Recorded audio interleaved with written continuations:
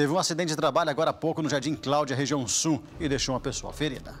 A vítima teve que ser socorrida pelo SIAT depois de cair de uma escada de aproximadamente um metro de altura. Álvaro Antônio Camurci, de 28 anos, trabalhava na instalação elétrica de um portão. Soldado Aristeu, quais ferimentos ele apresenta?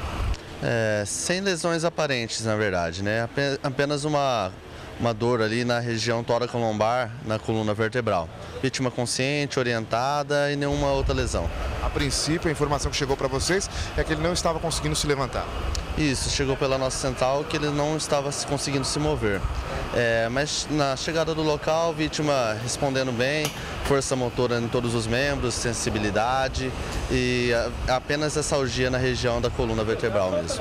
Queda, apesar de ser considerada de plano elevado, não foi de altura tão grande. Isso, na verdade não dá nem um metro de altura, é, mas já preocupa um pouco, né? Porque ele caiu sentado ali, estava com bastante dor na, na região da coluna e nossa ambulância foi até o local para averiguar melhor. Olha, felizmente nada de grave, né?